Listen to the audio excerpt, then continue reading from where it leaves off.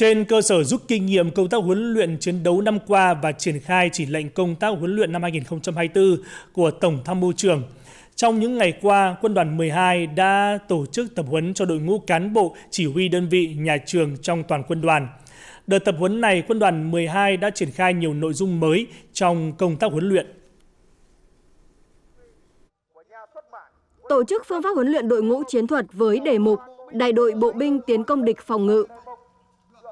Các động tác nhanh gọn, chính xác, thống nhất thứ tự hành động của cán bộ chỉ huy các cấp và của phân đội, giúp gắn quá trình phân tích nguyên tắc với địa hình, tình hình địch và kinh nghiệm chiến đấu.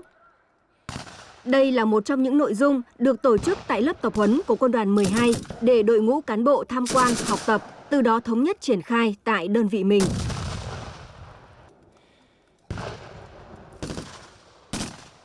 Quân đoàn 12 ờ, mới thành lập và Đảng ủy Bộ Tư lệnh Quân đoàn rất chú trọng đến công tác tập huấn cán bộ để bảo đảm tính thống nhất trong huấn luyện và sẵn sàng chiến đấu năm 2024 và những năm tiếp theo.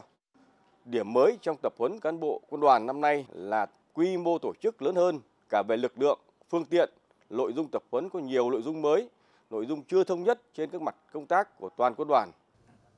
Còn đây là nội dung giới thiệu tính năng kỹ thuật động tác, quy tắc và điều kiện kiểm tra một số loại súng tiểu liên mới có trong biên chế.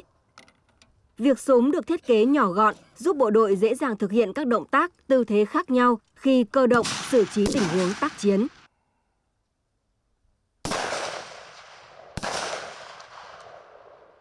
Từ những cái nội dung ờ, tôi tích lũy được từ tập huấn thì sẽ vận dụng vào chỉ đạo các cái nội dung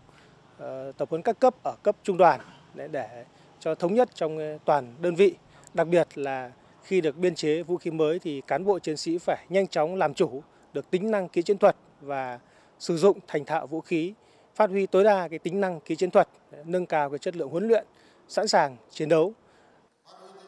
Cán bộ là gốc của mọi công việc, công việc thành công hay thất bại thì đều do cán bộ tốt hay kém. Nhận thức được tầm quan trọng đó, quá trình tập huấn, Quân đoàn 12 đã bồi dưỡng thống nhất nội dung toàn diện trên các mặt công tác, trong đó chú trọng vào việc triển khai tốt hoạt động công tác đảng, công tác chính trị. Chúng tôi nhận thức sâu sắc được tầm quan trọng của việc tập huấn cán bộ cấp quân đoàn thời gian vừa qua. Là dịp để mỗi cán bộ của đơn vị chúng tôi trao đổi, trao dồi, bổ sung các kiến thức mới, tiếp thu những cách làm hay, sáng tạo của các đơn vị trong toàn quân đoàn để áp dụng và thực hiện đối với đơn vị.